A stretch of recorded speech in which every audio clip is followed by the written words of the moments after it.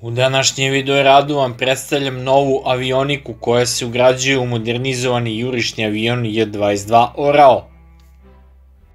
Najvažniji deo modernizacije jurišnog aviona Orao je upravo njegova digitalna avionika, odnosno elektronski sistemi koji ovaj borbini avion pretvaraju u letelicu koja može da leti u svim vremenskim uslovima i da pri tome koristi novo vođeno raketno naružanje domaće proizvodnje.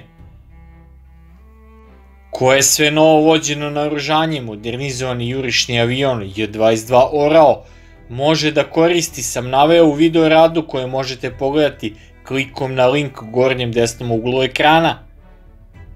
Što se tiče nove digitalne avionike koja omogućava korišćenje ovog borbenog aviona domaće proizvodnje u svim vremenskim uslovima danju i noću i upotrebu vođenih ubojnih sredstava je prikazana u modelu kabine dvoseda na J-22 na radomu letelicu kome se nalazi optoelektronski sistem, model domaće vođene rakete sa glavom za samonavođenje povezane sa avionom i navigacijski sistem na žirostabilisanoj platformi.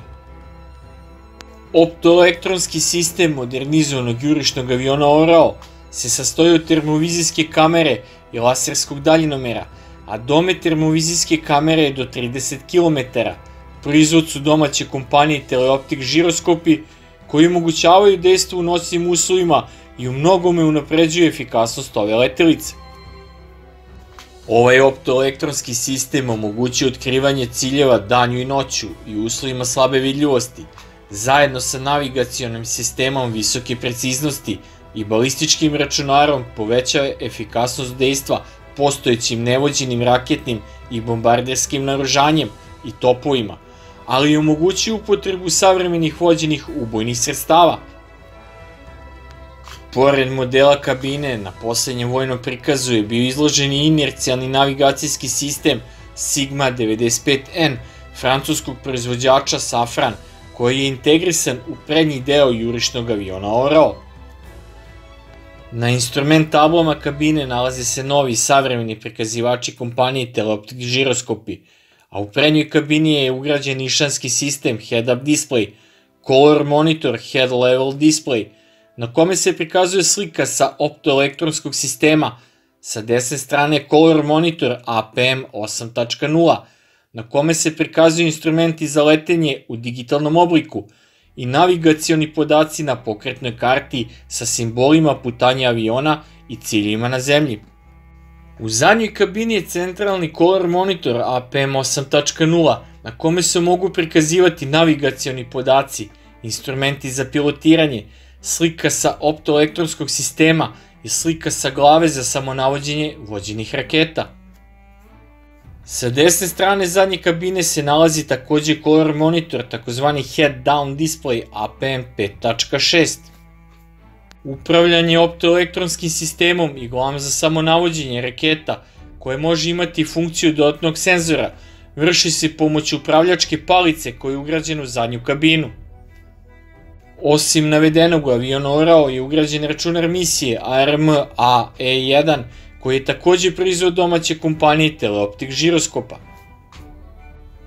Ovaj računar služi kao sistem integratora aviona Orao sa analognim i digitalnim komponentama i podsistemima uvezanih preko magistrala podataka MIL 1553 i ARINC koji je povezan sa inercijalnim navigacijskim sistemom, računarom letnih podataka, HOTAS komandama, radionavigacionom opremom i sistemom za upravljanje vatrom.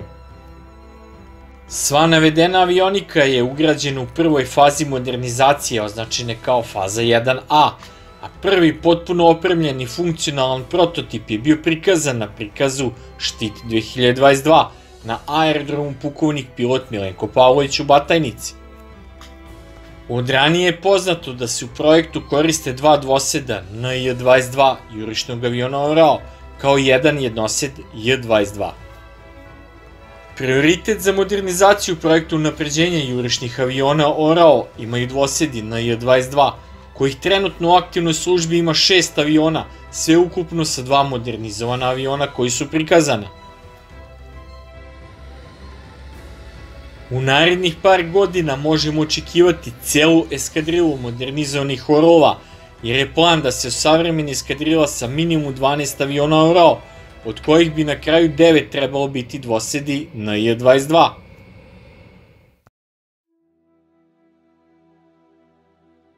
I eto, možda nećemo uspeti da dopremimo kupljene naoružane bespilotne letelice CH-95 iz Kine, ali ćemo uskoro imati eskadrilu mnogo moćnijih jurišnih aviona ORAO.